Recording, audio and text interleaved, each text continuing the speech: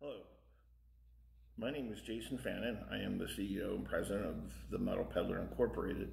Today we'll be talking about our fence post caps line. We also want to teach you about the difference between nominal fence post caps and full fence post caps. This uh, nominal are often sold in box stores and are smaller than full size. This full size was given to me from a friend of mine who um, has a large fence around his farm. And as you can see, there's large cracks and this has all been chipped away. Had he purchased some caps uh, from us, none of this wear would have taken place or the cracks. So let's get to it.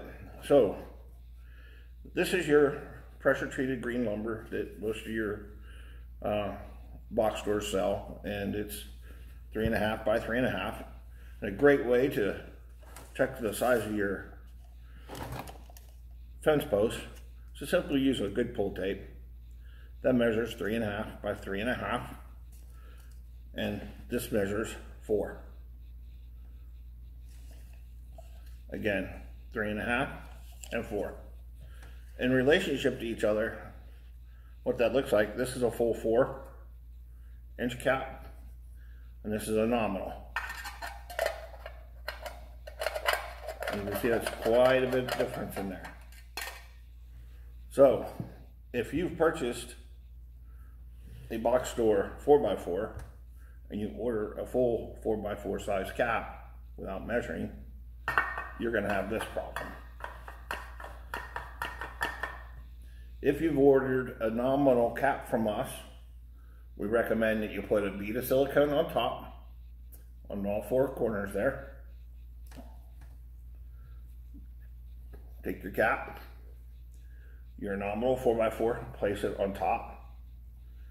Give her a good little tap.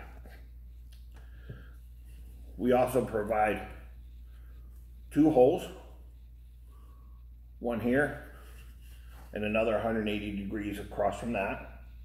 We recommend drilling, pre-drilling those if your rose nails are going into a hardwood. You can protect those nails by using a rubber mallet or using a piece of cloth between your steel hammer and the copper nail. Once those rosebud nails go in, they'll keep the cap secured to the post for a very long time. Our caps are 100% uh, copper.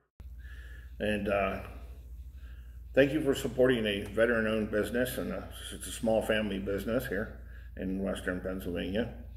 Um, we hope that uh, we're able to help you choose the right cap for your project.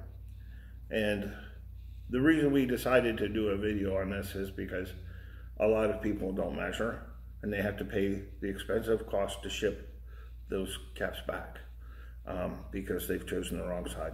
So please take a few minutes out to go out and measure the size post that you have so you can order the right cap.